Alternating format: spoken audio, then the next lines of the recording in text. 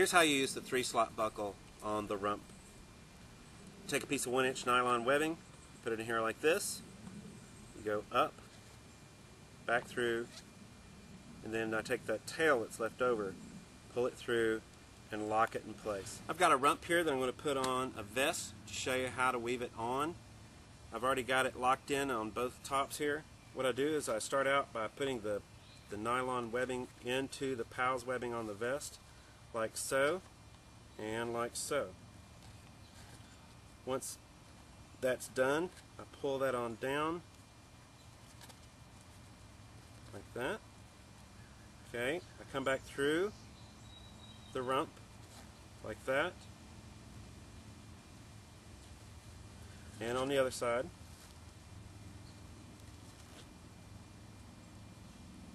Like that. Now I'm going to go through the second row of PALS webbing. Like that.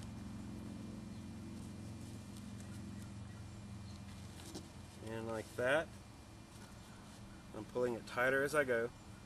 Now I come up both sides like this. Notice I've got the rump angled out a little bit. Pull it through like that. Like that. Now I can cinch it down. You can see it tighten up. It's extremely rigid right there. I then come back through that slot.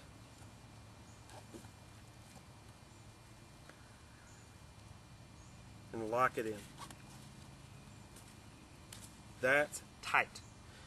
I can take my webbing there, tuck it back up under, make it nice and neat. If I want to add D-rings, when you're putting it on the vest, that's the time to do it. There you have it.